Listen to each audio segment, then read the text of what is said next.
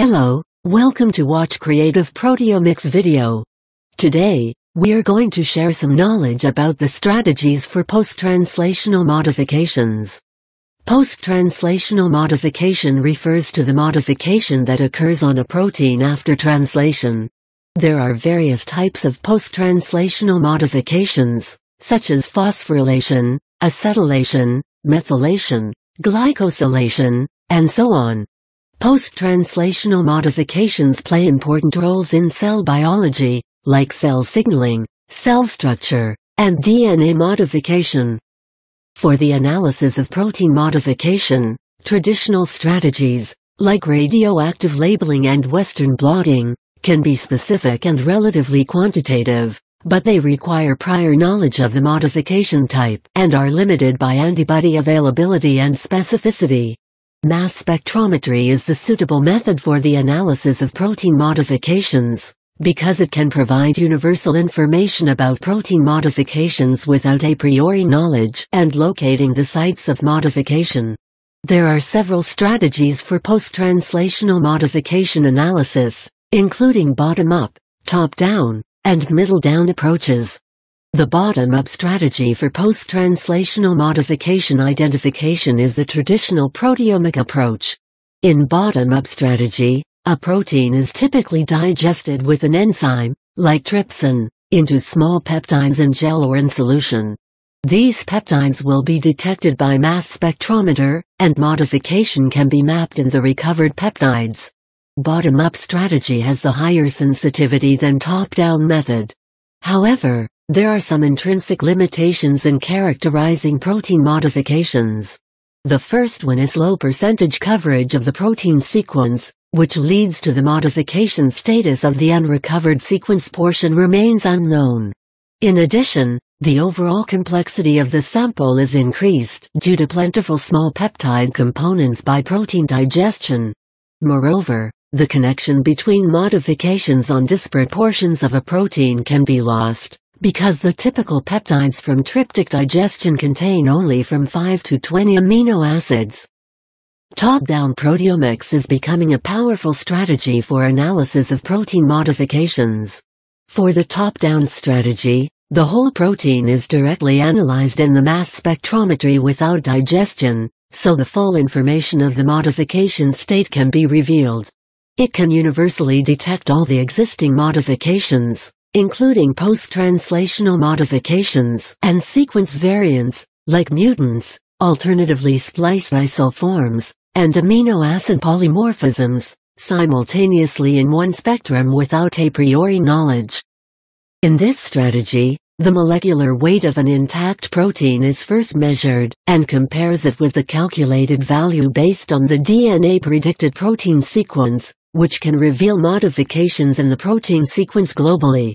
A specifically modified form of interest can be directly isolated in the mass spectrometer, and subsequently fragmented by the tandem mass spectrometer for reliable mapping of the modification sites. Middle-down proteomics has recently emerged as high-throughput strategy to define post-translational modification. The middle-down approach can be considered as a variant of the top-down approach. In this strategy, the proteins are needed to soft proteolysis to obtain the large peptides. The peptides are then sequenced by tandem mass spectrometry using technologies similar to top-down.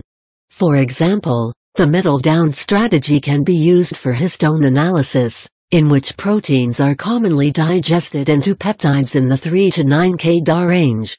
The middle-down approaches largely preserve the combinatorial modifications of the histone tail, while approaching the sensitivity of the bottom-up approach. In mass spectrometer-based post-translational modification analysis, it is important to produce peptide fragmentation information for high-confidence sequence identification and site localization of post-translational modifications. There are several fragmentation strategies available, including collision-induced dissociation, higher energy collisional dissociation, electron capture dissociation, and electron transfer dissociation. Collision-induced dissociation, also known as collisionally activated dissociation, is the most common and widely used unimolecular dissociation method, in which ions collide with neutral molecules to be positively charged. The collision-induced dissociation technique is generally more effective for small and low-charge state peptides. Collision-induced dissociation is not suitable for fragmentation of intact proteins and peptides with labile post-translational modifications, like phosphorylation.